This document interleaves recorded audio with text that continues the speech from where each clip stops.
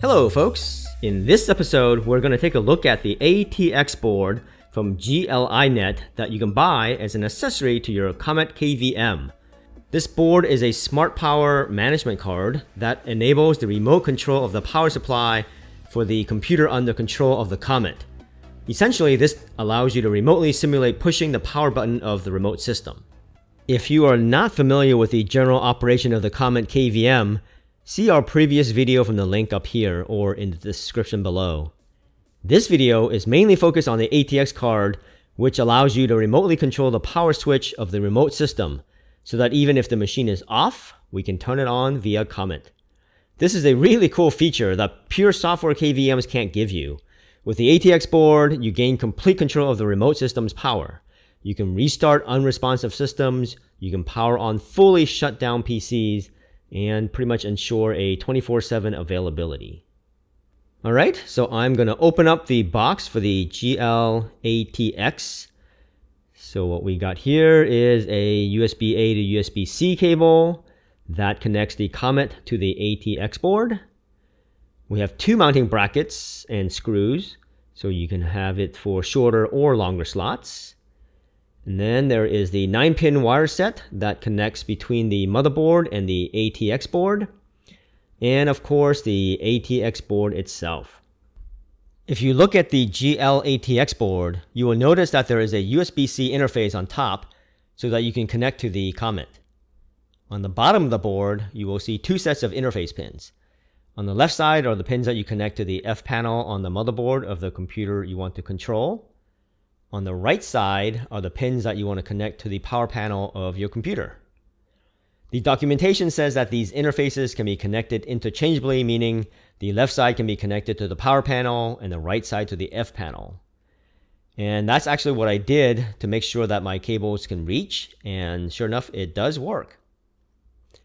If you take a closer look at the pinouts printed on the board, you will see that there are connections for the positive and negative of the power button, the reset line, the power LED, and the hard drive LED. The first thing you want to do is to figure out which of the two brackets will fit the computer that you have.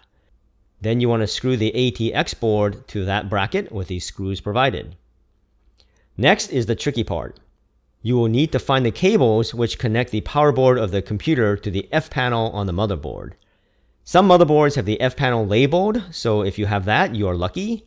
Every computer is different, but I found that if you look for the power button on the chassis and then look behind it and trace the wires, that should ultimately lead you to the F panel of the motherboard.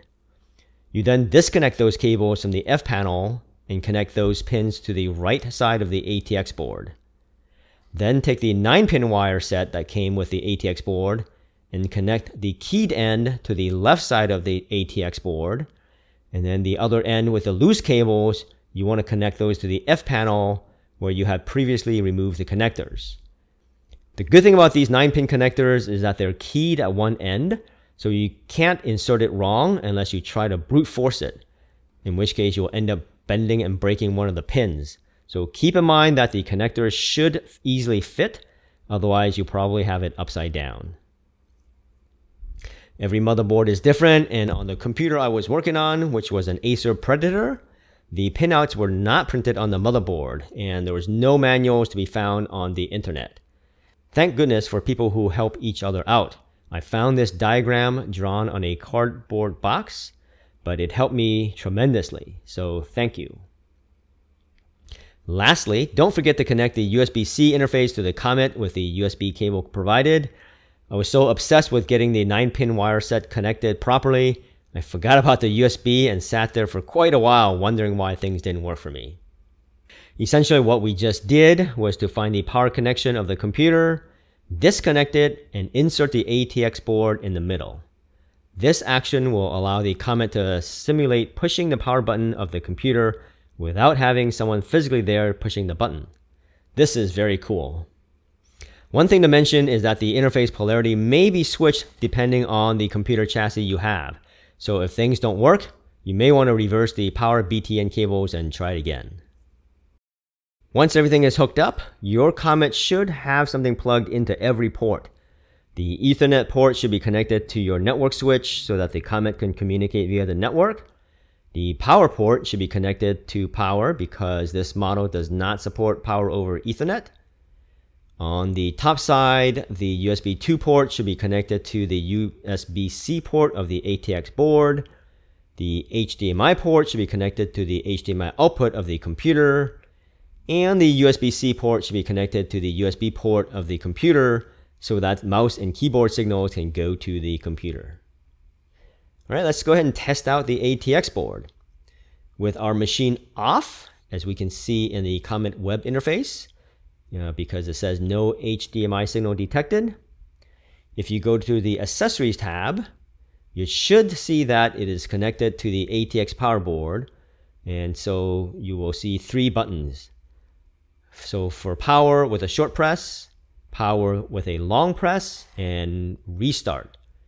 If we hover over the question mark, we see that the short press means about half a second, whereas the long press is about six and a half seconds. Let's first hit the short power button. We get a panel asking for confirmation that you indeed want to press the button. I will answer confirm. Immediately, I can hear the fan on my computer turn on, and then shortly after, I see the BIOS screen. And then I get the grub menu for my system, and then it fully boots. All right, so once it's done fully booting, I can press the short button again, and we see that this causes the system to bring up the shutdown panel, just like if the power button was pressed for a short time. If we cancel out of that, we get back to normal operations. Now what happens when I do the long press? This again simulates one holding down the physical power button, which causes a hard shutdown of the computer. Once I hit the button, we get a panel asking for confirmation that you indeed want to press the button. I answer confirm, and a few seconds later, I hear the computer fan stop working and the lights all turn off. And as you can see from the web interface, we get no HDMI signal detected. And I can see that the computer is indeed in the off state. So doing the long press basically does a hard shutdown. And from this powered off state, I will hit the short press power button again to turn on the computer. And we're going to wait a few moments for everything to boot back up.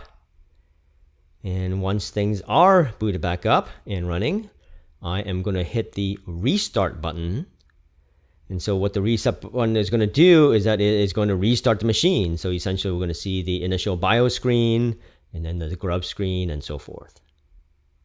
So as you can tell, I really like this ATX board as it adds the really cool ability to control the power button remotely. Of course, the caveat is that this board only works with systems where you can access the power control signals, which pretty much eliminates laptops, mini PCs, Raspberry Pis, etc., unless you're really good at soldering. So basically, this really only works for desktop computers and servers. The hardest part of installing this card is finding the pinouts for your particular computer.